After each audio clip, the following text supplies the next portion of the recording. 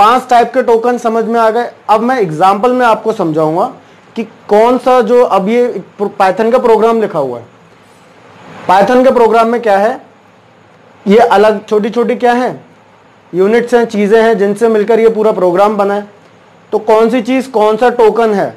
किस टाइप का टोकन है? ये मैं आपको बताता हूँ। तो पहले ये समझ लेते हैं, इस प्रोग्राम में हो क्या रहा है। ए की वैल्यू 15 ली है हमने बी की वैल्यू 20 ली है। दोनों ही इंटीजर है। एस के अंदर मैंने क्या लिया? सम है। सम मतलब एस एस मतलब सम। तो A plus B A plus B का सम मैंने कराया है इधर और उसको डाला है एस में।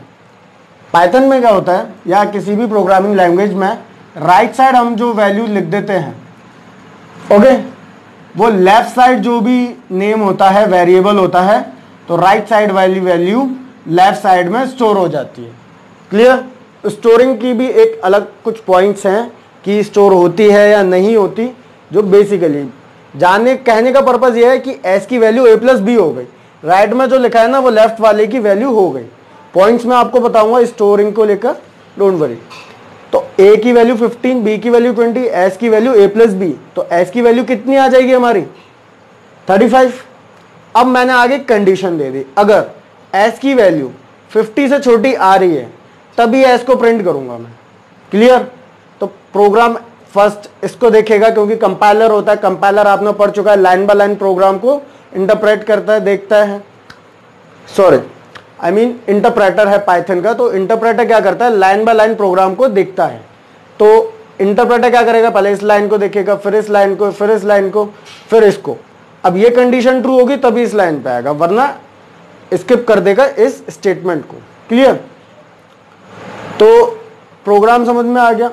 आगे और अच्छे अच्छे प्रोग्राम्स कराऊँगा जो आपकी बुक में है, और भी एक्स्ट्रा कराऊँगा तो उसमें और अच्छे से क्लियर होगा। अब मैं इसमें बता दूँ कौन सा क्या टोकन है। मैंने बताया था कि सबसे पहला क्या था? कीवर्ड तो इफ़ क्या है? एक कीवर्ड है। इफ़ क्या है हमारा? एक कीवर्ड है। ए क्या है?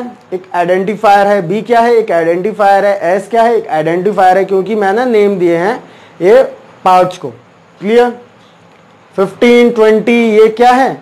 They are literals they are literals ये वैल्यूज़ है। ए प्लस बी क्या है?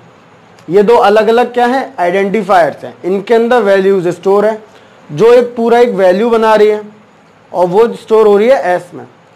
इफ़ एक कीवर्ड है कीवर्ड टाइप का टोकन है। अब ये ब्रैकेट क्या है? ये ब्रैकेट है आपका पंचुएटर एस एक आइडेंटिफायर है, ये एक ऑपरेटर है, ये एक लिटरल है, ये एक पंचुएटर है, एक ये और ये क्या है? ये एक फ़ंक्शन है स्टेटमेंट है। ये एक टोकन नहीं कह सकते हम इसको बट हम बोल सकते हैं कि प्रिंट जो है एक तरीके से एक आपका आइडेंटिफायर है, क्योंकि ये एक फ़ंक्शन है। और फ़ंक्शन को जो नेम दिया गया होता है, वो क्या कहलाता है? आइडेंटिफायर तो फ़ंक्शंस भी आप अच्छे से समझेंगे। ये क्या है? It is a punctuator and S क्या है? एस एक वेरिएबल है.